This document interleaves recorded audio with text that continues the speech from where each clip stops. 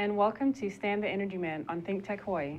I'm Rachel James from the Hawaii Center for Advanced Transportation Technologies, where hydrogen is really a gas. Okay, so we all like hydrogen at HCATT, but it's not the only thing we know. So today, we're spreading our wings and talking to Erik Kvam, Director of the Renewable Energy Action Coalition, to talk about the thinking that goes behind planning energy projects. Eric, welcome. Thank you very much, Rachel. It's a great pleasure to be here. So I'm super excited about energy action and coalitioning. That's something that is really kind of a hot topic and present, um, well, today. Yes. Lots of coalition building um, up to today. That's but true. particular to energy, can you share a little bit about what the energy, and I'm probably going to get the name wrong, so if you could, Oh, you could uh, correct well, me. It's called Renewable Energy Action Coalition of Okay. Hawaii, or Okay. REACH for REACH. short. I'll go with REACH. And it's a trade association. Its members are renewable energy companies. Mhm. And through REACH, basically, those companies have a voice in the uh, legislative process Okay. um, and also in the regulatory process, Okay. uh, dockets of the Public Utilities Commission. And the way that I got into this was through my own experience as a renewable project developer, solar PV projects. Okay. And through that, I became interested in policy. And the very first docket that I was in uh, through my company was the net energy metering docket. And now Hmm. I've been in about, I don't know, maybe 12 or 15 dockets, Okay. including the major ones that are going on right now. Okay. Things like power supply improvement plans, Mhm. uh, the distributed energy res- resources docket, and others. Okay. So I was going to do a deep dive into what does it mean to be in a docket. We might revisit that though. Okay. So if we could just talk a little bit about who you are and how you establish REACH and kind of Sure. why do you do what you do? Oh, thank you very much. Um, well, I'm an attorney. I've been an attorney for 30 years, and before we started, we were talking a little bit that you're in law school right Yes. now. And uh, as an attorney, I started out as a tax lawyer. I still am Mm. a tax lawyer. Okay. And being a tax lawyer, I also uh, got involved in transactions, specifically equipment lease transactions. Mm. Equipment lease transactions are actually very similar to power purchase agreements. Oh, okay. Okay, and when I, so when I came to Hawaii, and I'd been in- interested in renewable energy before coming here, Mm. I was very influenced by a book by a man named Paul Hawken called Natural Capitalism. Yes. And he advocated uh, a services approach to thinking about energy Mhm. and other, other services. And uh, I really liked that. In fact, it, uh, at the time I read it, right at the time I read it, I became aware of the business plan for the company that later became SunEdison, which became the leading, you know, uh, uh, business using power purchase agreements in renewable energy. So I moved to Hawaii in 2003, and after being here a couple of years, I was looking around saying, know, this is a really good place to do solar Mm. photovoltaics. Mhm. And so I launched my company called Zero Emissions at that time Okay. uh, and pursued that for some years. And now I'm practicing law under Hawaii Energy Law Services. Mm. Uh, but really, shortly after I launched my company, Zero Emissions, I was interested in, well, what's the big picture? Because of course I Mm. had great ambitions Yeah. for my for my company. And that's what got me into first the net energy metering docket and then all the dockets that Ah, followed. I see. So at this point, what I've been making the focus of my work for the last few years, last four years really, has been focusing on uh, the electric utilities planning process. Mm. And I had a, uh, a role in uh, talking with people at the Hawaiian Electric Utility Companies about the merits of a goal of 100% renewable energy. So that's a conversation that I started with the Hawaiian Electric Companies Mhm. four years ago, which Mhm. was about three years, well, maybe two and a half years before that consensus by the companies helped the legislature create the renewable portfolio standard. I see. So the seed planting, it seems. There was a lot of seed planting there, yes. Very nice. So you also mentioned the in the docket again, and I'm going to dig a little deeper into that because I find that um, PUC, the Public Mhm. Utilities Commission, that comes up often. Right. Um, but people discuss their understanding of it differently. Right. And so, what does, if I could do just a quick educational on the PUC and what they do, and then when you say in the docket, what do you mean? So as an Oh. intervener, are you, like what, how are you engaging? Well, uh, our electric utilities, they're, they're regulated by the Public Utilities Mhm. Commission. For the Hawaiian Electric Co- companies, which are investor-owned utilities, that means primarily that they regulate the return that uh, the utility gets on its Mm. investment in the electric grid. Mhm. And that's called, so they get a regulated rate of return. And the bargain is that effectively they have a franchise monopoly on the uh, transmission and distribution of electricity. Mhm. And that's why their return is regulated. Mhm. Uh, As overseers of the investor-owned utility, uh, so they're interested in all major decisions that are made by the utility, including the future of the grid. Right. um, And, uh, you know, what kind of grid do we want? Mhm. What kind of grid does, is Hawaiian Electric planning for? Mhm. What kind of grid do the people at the utility want? Mhm. Okay, and so that becomes the topic of what I call the planning dockets. Okay. And the major ones are the power supply improvement planning docket, Mhm. uh, the uh, distributed energy resources docket. There's a, an important pilot program, demand response docket. Mhm. And there's going to be another major docket um, that's going to be called the grid modernization docket. Mm. It's a lot of planning work. It's, Yeah. These are very, very comprehensive planning efforts being made by Hawaiian Electric companies in response to the directions from the Public Utilities Commission to come up with plans. And so as you engage in these dockets, um, and I'm sorry if I'm Sure. tiptoeing through this, but Right. just so that everybody's on the same page. Um, Mhm. As you engage in these dockets, do you generally provide input on behalf of those affiliates in REACH? Or just from a planning perspective, or does it depend on the docket? Like, how are you engaging with providing information in that space? Uh, What I try to do is um, think about the issue from uh, the utility's point of view Hmm. and recognizing that they are, they are the decision makers for Right. what renewable energy options get implemented.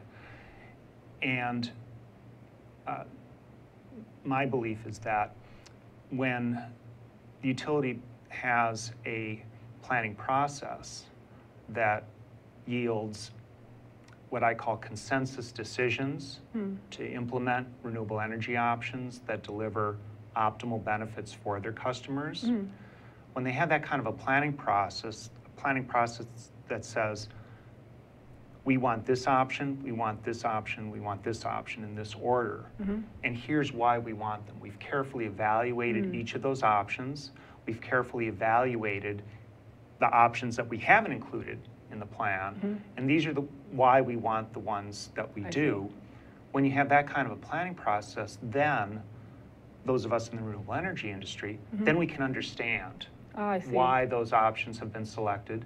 Then we can have a conversation with Hawaiian Electric Mhm. on, have you considered this assumption? Hmm. Have you considered this particular combination of renewable energy options? Mhm. And we can arrive at, at consensus together, you know, between the renewable energy industry Mm. and the Hawaiian Electric companies that, uh, that yes, we want to see these options implemented. Mhm. And that's progress. That's how, that's how, my belief, we can get to 100% renewable energy. You're watching Think Tech Hawaii. People Hmm. expect. Okay.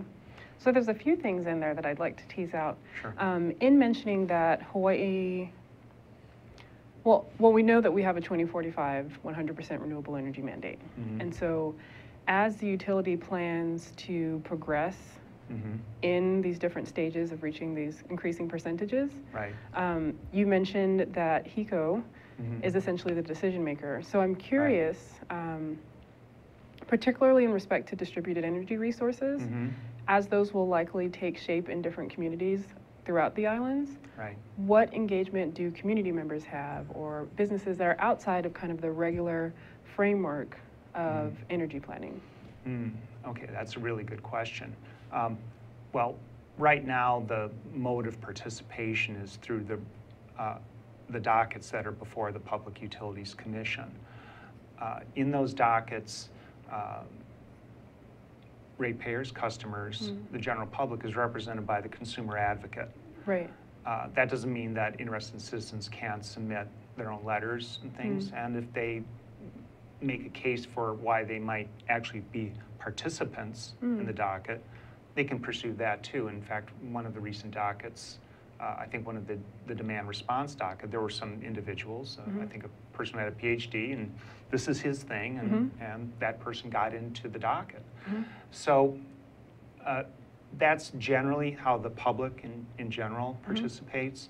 Uh, Other participants in the docket include uh, trade associations like my own, Okay. representing renewable energy companies. Right. Uh, There are also, I suppose you call them, well, not-for-profit organizations that have a focus on energy. And the two principal ones are Blue Planet Foundation and Ulupono Initiative. Mhm. And also, I shouldn't leave out Life of the Land as well. Okay. So, uh, and so they bring their own perspective. They make an investment Mhm. in uh, studying it and coming up with policy solutions Mm. that they think will help the most, the movement towards 100% renewable energy. Okay. So it sounds like the planning process, and correct me if I'm wrong, but is it less focus on the technologies and more systems and how they serve individuals? Hmm, Well, uh, yeah, the planning process. uh, There are two planning processes, Mhm. okay? There's the planning process used in the, to create the power supply improvement plans. Mhm. And then there's the utilities' actual planning process, I see. okay? And the utility, utilities' actual planning process uh, does focus on the technologies. Mhm. Uh, And in my most recent report, uh, which I call Hawaii DER report, Mhm. I talk about where the utility is at in their planning Mhm. for the major categories of what are called DER uh, technologies or options. Okay. DER stands for Distributed Energy Resources. Mhm. And again, I'm trying to characterize it for people in the industry. Here's where they're actually at. The, the planning process used for the PSIPs, Hmm. that's more of a visionary thing, Mhm. where this is where we s- see ourselves going, where we might want to go. Mhm. Um, but what matters, and I, this is what I assert, Mm. is that what matters is decisions to implement options, right? Okay. Because if you've got a vision, that's Mhm. great, Mhm. okay? That's, that's part of it. Um, Ultimately, we want to see decisions, more and better decisions, to actually implement the options. I see. That's what's going to get us to 100% renewable energy. Okay. And so, uh, really what utility resource planning is, Mhm. and this is all just electric power, we could talk about transportation perhaps in a little bit. Um, What utility resource planning is, it's a decision-making process, Okay. right? And the end result of it is, is what I call a consensus decision to implement a renewable energy option. And the way you get a consensus decision to implement a renewable energy option Mhm. is if you have consensus starting among the people at Hawaiian Electric Mhm. that we want this option because Mhm. we've evaluated it, Mhm. evaluated it in comparison with all the other options available to us, Mhm.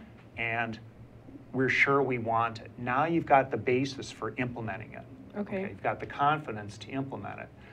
And so that's what I spend a lot of my time talking with, about with people at Hawaiian Electric, that kind of a planning process, so that they're making more and better uh, Mhm. decisions, transparent decisions where everyone understands, you know, the basis of their decision, and, and we can have a conversation about it.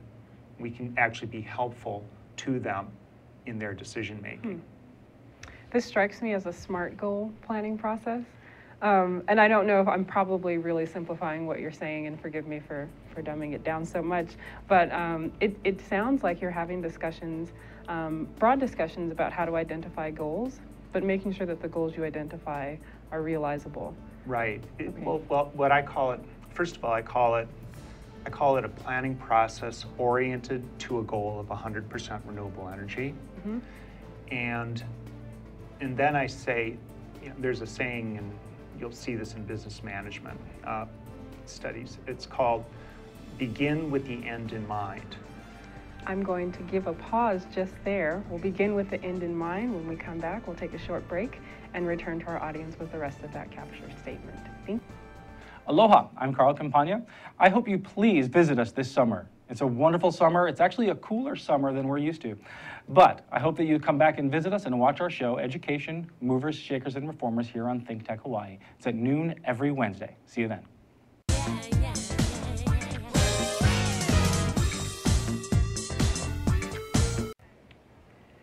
Hi, I'm Marianne Sasaki from Life in the Law on ThinkTech Hawaii.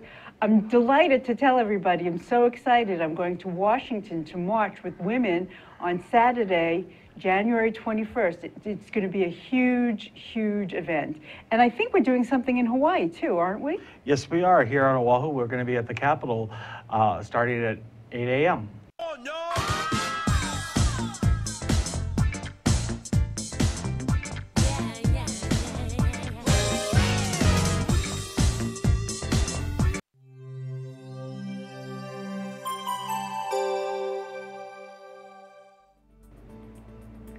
certain you are on the edge of your seats, wondering how you begin with the end in mind. So thanks for hanging on.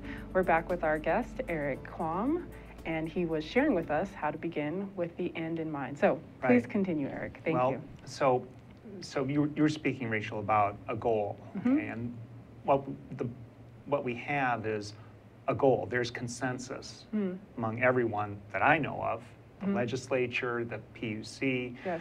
the renewable energy industry, the electric utilities Mm-hmm. themselves, that this is what we want. That's our goal. Right.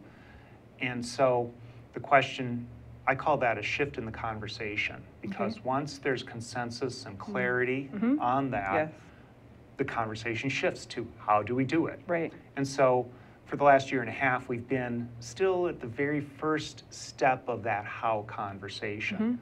And I call that the, um, uh, the conversation about what kind of planning process do we use to create a plan to get there?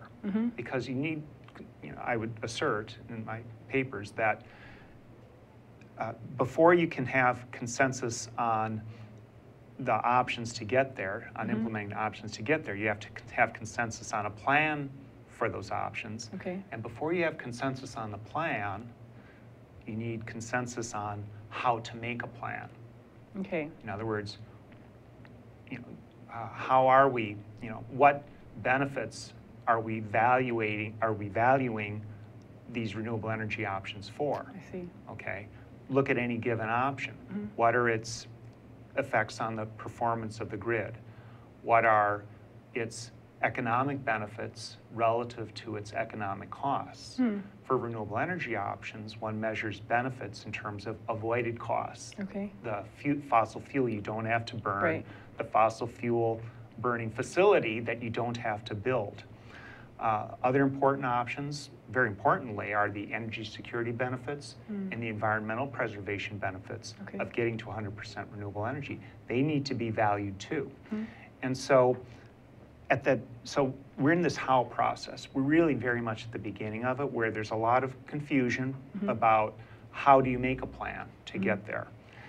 And so when I talk about begin with the end in mind, we've got the goal, okay? Mm-hmm. But the goal or the end result of the planning process, the end in mind, I would say is a consensus decision to implement a renewable energy option. Okay. Okay, so how do you create a process, the end result of which is a consensus decision to implement Okay. the renewable energy option?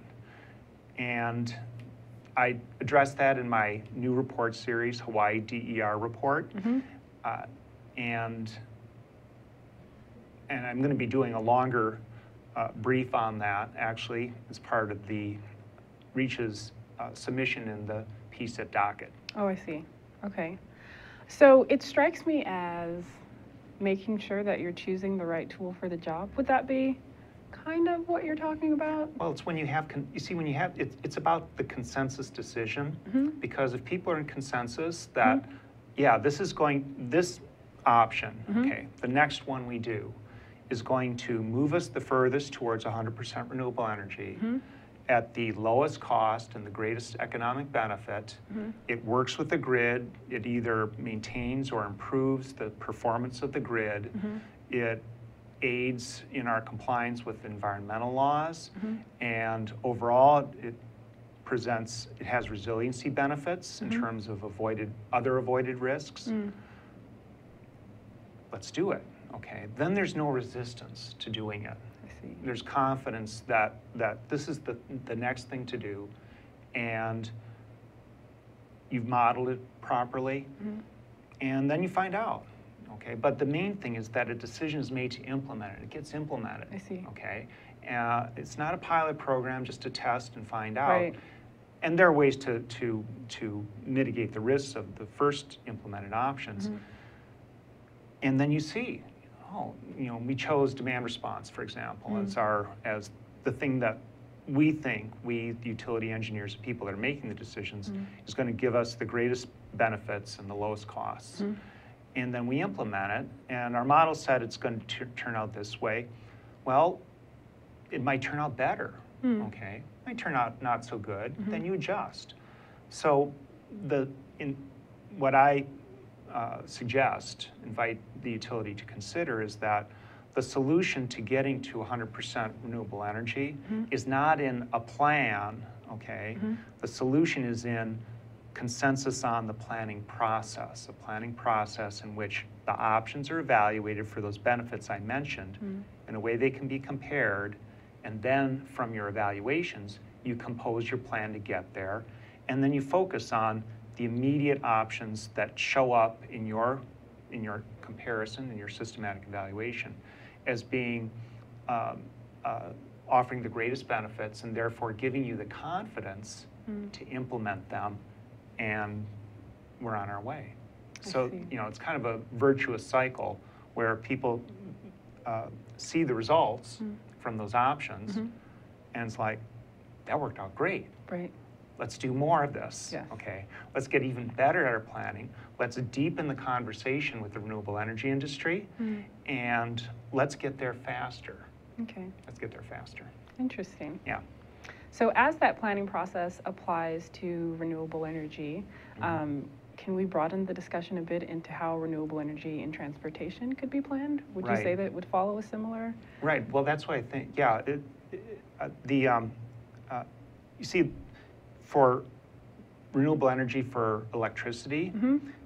uh, we're much further along. And Mm. I would suggest the reason we're much further along is that we have consensus on the goal of 100% Right. renewable energy for electricity. Mhm.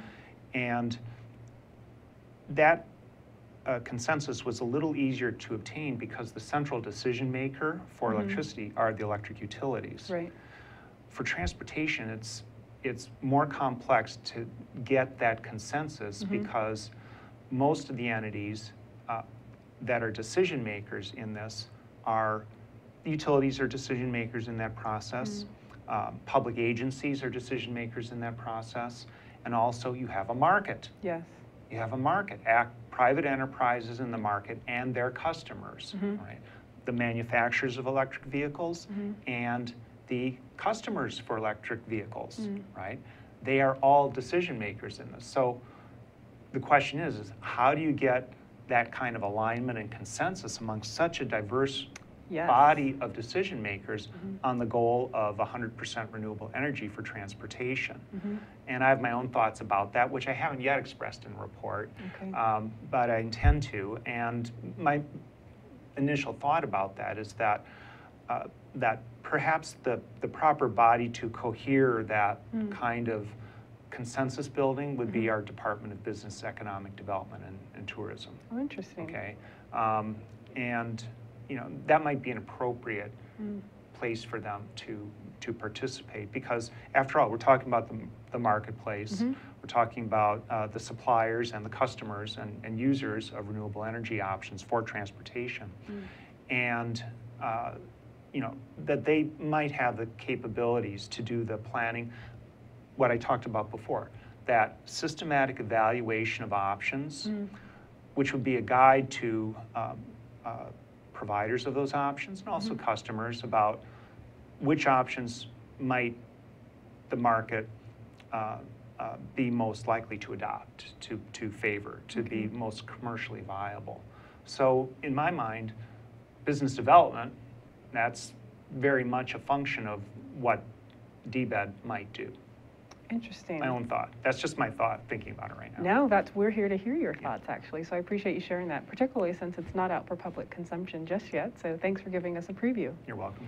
Um, so as we near the end of our show, I wondered if you had any closing thoughts that you wanted to share with our audience, or just any lasting ideas that you'd like people to ponder over the weekend. That's a good question. Uh, The, um, again, it's, uh, it, it's an exciting time. And before we started the show, I mentioned that uh, I was just at the legislature on Wednesday for Mm, opening day. And I ran into at least six relatively young people, Mhm. okay, fresh out of university or, Mhm. or even grad school. They were there at the legislature and they're excited, okay? They want to be part of this. Mhm. They want to, they want to see things happen. They want to see, and the way that, that they'll maintain their excitement was, is when they see things being implemented, Mm. okay? Decisions being made and progress being made. I mean, everyone, who, who doesn't want to be part of that? Right. And so what I would say to them and other people, again, Mhm. we're talking about the, the STEM area of Mhm. education, uh, is that the, uh, uh, it's going to get really exciting here. It's going to get really exciting. And generally, is that the obstacles to getting there, Mm. it's not for lack of, lack of good options. It's not for lack of economic options. Mhm. It's not for lack of public support and willingness to do this. It's really just a matter of clarity of thinking, especially about the planning process. Okay. So, and, and being clear on what the decision-making process is that yields consensus decisions to implement renewable energy options. Because when we have that kind of a planning process, things are going to accelerate and it's going to be very exciting. Excellent. Well, Okay. these are exciting times, and we hope to accelerate into 2017. Audience, thanks for taking your time with us today here on Stan the Energy Man on Think Tech Hawaii. Thank you, Erik, for joining us. You're very welcome. Aloha.